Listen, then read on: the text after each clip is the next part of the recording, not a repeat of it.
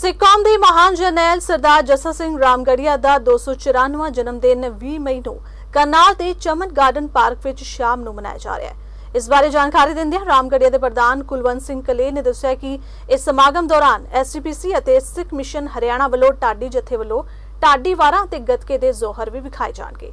ਸੰਸਥਾ ਹਮੇਸ਼ਾ ਰਾਮਗੜੀਆ ਸਮਾਜ ਦੀ ਭਲਾਈ ਦੇ ਲਈ ਕਾਰਜ ਕਰਦੀ ਰਹੇਗੀ।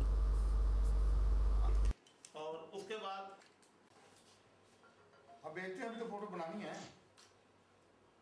करनाल की जितने भी हमारे अदर कम्युनिटी के साथी हैं 20 मई को हम लोग सरदार जस्सा सिंह रामगढ़िया जी का जन्म दिवस मना रहे हैं, जिसमें हमारे करनाल की सभी बिरादरियाँ भाग ले रही हैं और इसमें हम जस्सा सिंह रामगढ़िया जी के जन्म दिवस के उपलक्ष्य में टाडी जत्था जी आएँगे और साथ में हम गत्के का प्रदर्शन कर रहे हैं, जिसमें तीन चार टीमें भाग ले रही हैं और गुरु महाराज जी का लंगर और छबील लगाई जाएगी।